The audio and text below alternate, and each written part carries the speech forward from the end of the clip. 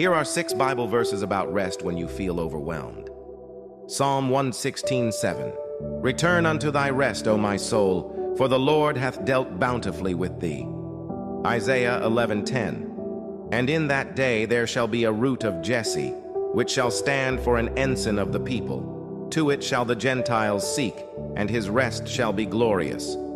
Exodus 33:14. And he said, My presence shall go with thee, and I will give thee rest. Psalm 37, 7. Rest in the Lord and wait patiently for him.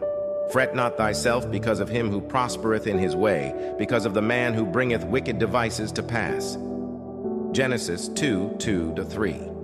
And on the seventh day God ended his work which he had made, and he rested on the seventh day from all his work which he had made. And God blessed the seventh day and sanctified it, because that in it he had rested from all his work which God created and made. Hebrews 4 9 11. There remaineth therefore a rest to the people of God. For he that is entered into his rest, he also hath ceased from his own works, as God did from his. Let us labor, therefore, to enter into that rest, lest any man fall after the same example of unbelief.